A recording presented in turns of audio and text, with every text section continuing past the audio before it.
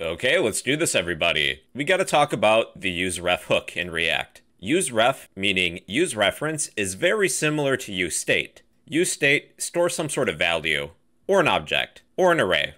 Whenever the state value changes, use state re-renders the component, which isn't always what we want. Use ref, meaning use reference, it doesn't cause re-renders when its value changes. Use useRef when you want a component to remember some information, but you don't want that information to trigger new renders. UseRef is helpful with accessing and interacting with DOM elements, handling focus, animations, and transitions, as well as managing timers and intervals.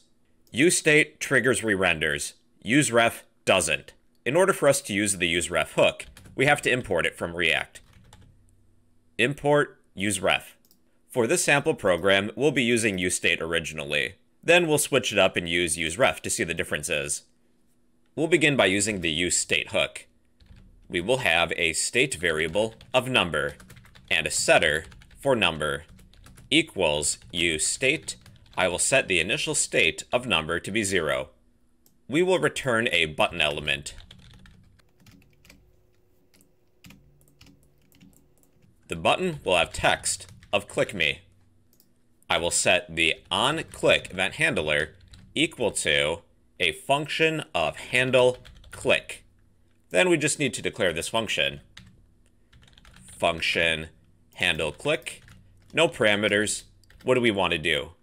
When we click on the button, let's use the setter for number and increment the previous state of number by 1. n plus 1. Whenever my number updates, it's going to cause my component to re-render. I can demonstrate that with the useEffect hook. So before our function of handle click, let's use useEffect. With useEffect, if we don't pass in a dependency array, we'll perform some code every time this component renders. So for this demonstration, let's console.log component rendered. Anytime this component renders, useEffect is going to execute this code, where we display component rendered. So I'm going to go to my console. When your component mounts, you'll render your component twice. That's if you're in strict mode. Just temporarily for this demonstration, I am going to remove strict mode. So our component renders once on mount. Whenever we update the state of a state variable, that causes the component to re-render. That's where useRef comes in. useRef doesn't cause a component to re-render when its value changes. It's kind of like an escape hatch. So instead of using a state variable, we're going to use ref. Use ref means use reference. We're referring to something. We will declare a const of ref equals use ref function. Use ref returns an object, an object that has one property of current. If you pass in a value to useRef, you can set the property of current to some value. I will set the current property of my ref object to be 0. Then within handle click, within handle click, I will access my ref object, access the current property, then I'll have access to that value. I will set the current property of ref to be ref.currentProperty plus 1, or we could use the increment operator every time we click the button, we will increase the current property of ref by 1. And then I will display what that value is. Console.log, access our ref object, access the current property. Let's go to inspect console. Our component rendered once. Every time I click the button, our component isn't re-rendering. We've only rendered it once. The value stored within the current property of my ref object is increasing each time I click the button, without the component re-rendering. UseRef returns an object, an object that has one property, a property of current. Let me show you what would happen if I were to console.log ref, my reference. So here's ref. It's an object. It's an object with one property. When we create this reference, the initial value is going to be the initial value we pass in to use ref, 0. But if I were to change this, let's say that the initial value is pizza, Ref is an object, an object with one property of current. The value stored within my current property is a string of pizza. So what we'll do in this next demonstration is create an input element. But we do need to wrap all this HTML within a single element, because we can only return a single element at a time normally. So we will enclose all of our HTML within a div. So we have a button and an input element.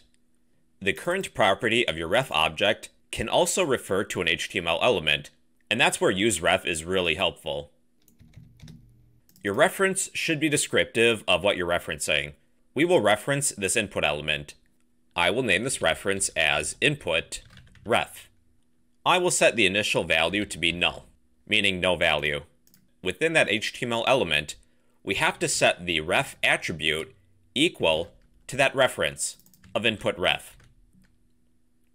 The ref attribute of an HTML element, it's a special attribute used to create references to elements.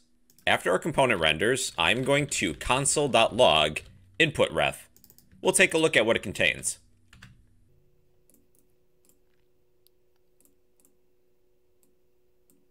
So here's our input ref object. It's an object. The property of current is set equal to this input element, and this input element is one gigantic HTML object. If we make any changes to this HTML element, it's not going to cause this component to re-render. And to even check that, I have console.log component rendered within useEffect. If this component re-renders, we'll console.log this message. So what would we like to do? When we click the button, let's take our object of input ref, access the current property, that will give me my HTML element, my input element. I will use the built-in focus method to give this element focus. If I were to click on this button, our input element is going to have focus, and it doesn't cause the component to re-render. Just to check that, let's go to Inspect, Console. Our component rendered once, when we initially mounted it. Every time I click the button, the component isn't re-rendering, which is good. We don't necessarily need the component to re-render every single time. Not only that, let's change the background color of our text box. We can really do anything we want with this HTML element, without causing the component to re-render. Let's access our input ref object, access the current property. That will give me this HTML element. Let's access the style property, access the background color, and set it to be yellow. Now, when I click the button, we have focus and the background color changes of this input element. Let's create a few more HTML elements. Let's copy this button and this input element, paste it twice. We'll have click me 1, click me 2, click me 3. We'll have to create a few more references. Let's copy our current reference, paste it twice. Input ref 1, input ref 2, input ref 3. The ref attribute of each input element will be input ref 1, then input ref 2, input ref 3 we'll create two more handle click functions, just to keep it simple. Handle click 1, handle click 2, handle click 3. Handle click 1, handle click 2, handle click 3. So we need input ref 1, input ref 2, input ref 3. When we click on one of these buttons, the background color is going to change, as well as the input element having focus. When we click on one of these buttons, I need the background color of the other input elements to reset back to normal. So really we can just copy what we have for the background color, but access input ref 2 and 3. Set the background color to be an empty string for the default.